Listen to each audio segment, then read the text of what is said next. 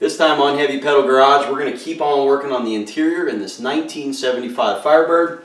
I got the headliner installed and I just wanted to show you a little uh, project that I did on my dome light. It was so corroded and, and, and cracked and dry rotted that the terminals inside of the dome bezel cracked out. But I used the little bits and pieces out of my junk drawer and we happened to make it work and we saved a bunch of money. So check this out.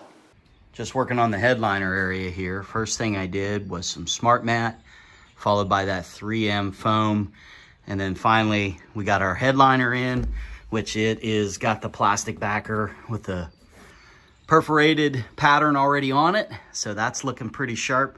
But I had problems with my dome light. So the dome light's kind of a critical piece in holding that headliner up. You really need to get the middle of that headliner anchored up with this so you can get the rest of it in, especially if you're by yourself.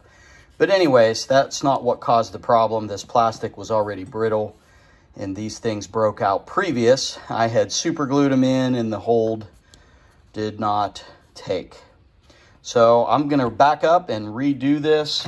Instead of paying the you know $40 for a whole new cap, bezel with the wiring and the fitting and socket. I had this in my scrap pile. So my grandpa was a complete hoarder and when he passed away, I got a lot of his stuff, which is super cool because he is one of the main reasons that I do what I do now. He used to take me as a little kid and we'd do all kinds of crazy fun projects. But anyways, this is a bunch of junk that I got from his workshop and I happen to have this in there. So we're basically just gonna cut this plastic out and then do a real good epoxy to get it to hold.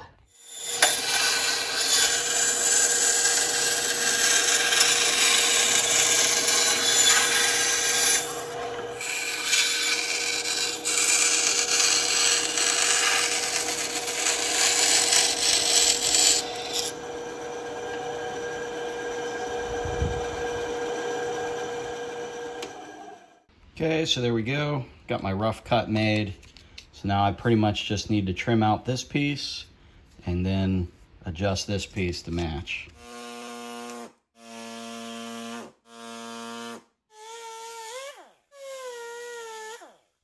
All right, so after some sanding and trimming, here's where we ended up.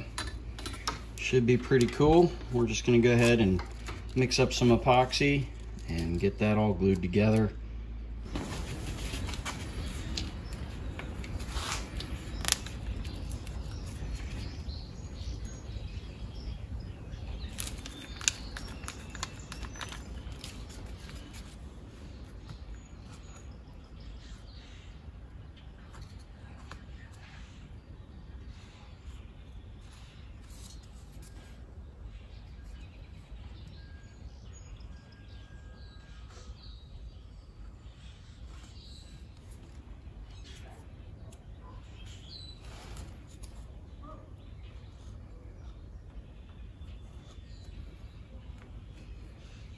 I was getting ready to zip this up in here and almost forgot to show you how it turned out.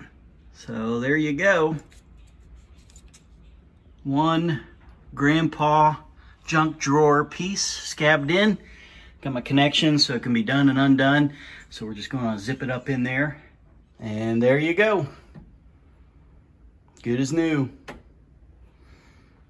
So I'm hoping these wrinkles here settle down a little bit once it gets warmed up, but Looks pretty nice. So the headliner wrinkles in this thing are starting to settle down. It's looking really good.